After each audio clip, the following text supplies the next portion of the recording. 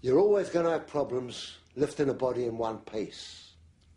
Apparently, the best thing to do is cut up a corpse into six pieces and pile it all together. And when you've got your six pieces, you've got to get rid of them. Because it's no good leaving it in the deep freeze for your mum to discover now, is it?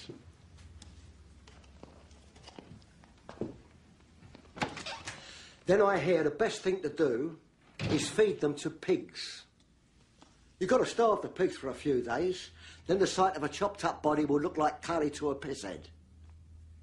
You've got to shave the heads of your victims and pull the teeth out for the sake of the piggish digestion. You could do this afterwards, of course, but you don't want to go sieving through pig shit now, do you? They will go through bone like butter. You need at least 16 pigs to finish the job in one sitting, so be wary of any man who keeps a pig farm. They will go through a body that weighs 200 pounds in about eight minutes. That means that a single pig can consume two pounds of uncooked flesh every minute. Hence the expression, as greedy as a pig.